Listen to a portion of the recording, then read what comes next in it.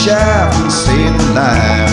The other 40 Springfield wives, but all my grandpa's buddies ran away. The men folk found their women scary, cause they were so big and hairy. They thought of dynamite sealed them in. Gramps was known as Chocolate Calhoun. He was in the local saloon and came Billy Joe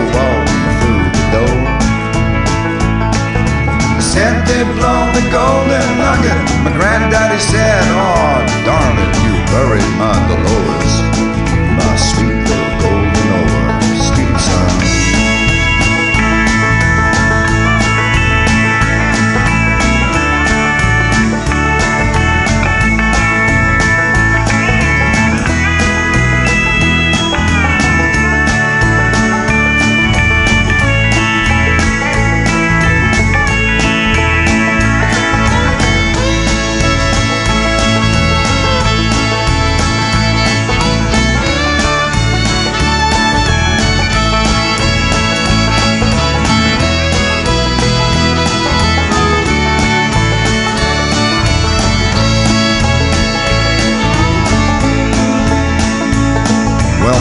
granddaddy jumped up from his table, finished his jug, and he got up to that mine just as lickety darn split as he could.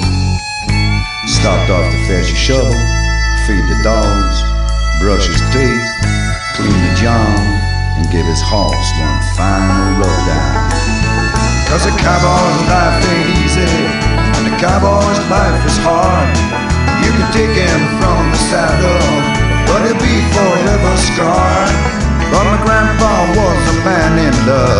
called his prairie dove, and he told her that he loved her with every sigh.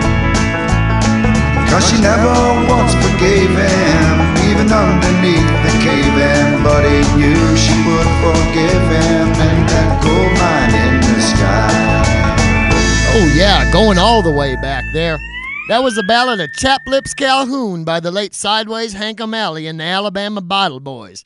And you know, that was so good, I reckon I'll play it again.